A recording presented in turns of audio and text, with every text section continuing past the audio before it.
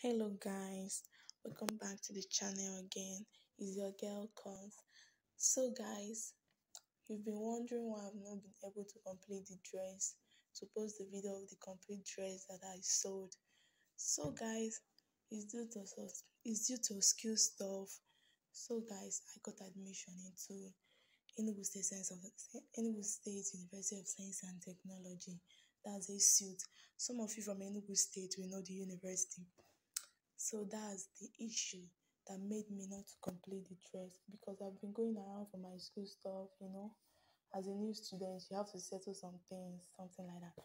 So, guys, that's one is apart. So, guys, this is me trying to sew in the hand of the dress. And, guys, this is me putting on the dress. So, guys, don't forget to like and share your thoughts in the comment section. Tell me what you like about this dress and tell me and tell me what you feel about the dress. Thank you guys and stay tuned for our next video. I love you. Bye.